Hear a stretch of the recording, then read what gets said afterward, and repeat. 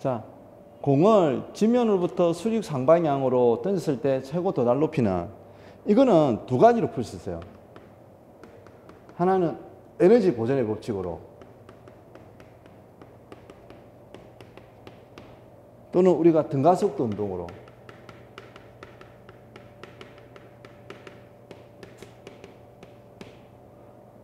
자, 에너지 보존의 법칙은 뭐죠? 여기 여기의 속도는 무슨 속도밖에 없어요. 운동 에너지가 있죠.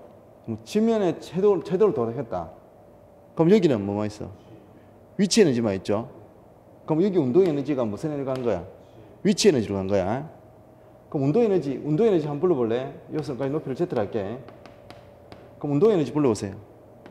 2분의 1 mv1의 제곱은 운동 에너지. 위치 에너지는 뭐예요? Mg의 Z 1을 h로 할게 그냥. 최고 높이. 그러니까 운동 에너지가 무슨 에너지로?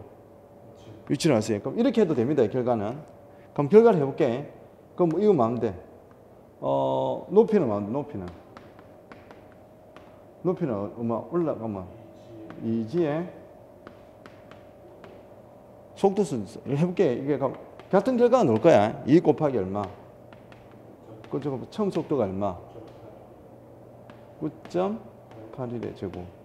그럼 9.8, 1 9.8을 하면 얼마나? 4. 4.9 정도 되겠네. 4. 어? 어, 이렇게 풀 되고. 그럼 우리 등가속도 운동을 해볼까요? 자, 지금 올라가죠? 올라갈 때 A 대신에 뭐 돼? 속도가 감소되니까 여기 나수 속도가 0이잖아. 그럼 이거 대신에 마이너스? 어, 마이너스 9.8. 이렇게, 그럼 써. 등가속도 운동일 때 A 대신에 뭐야? 그럼 불러볼까? 나주 속도는 처음 속도다 마이너스 플러스 A, 대신에 어. 그럼 변이 S는 마이너스 2분의 1. 요 A 대신 지승 알았지?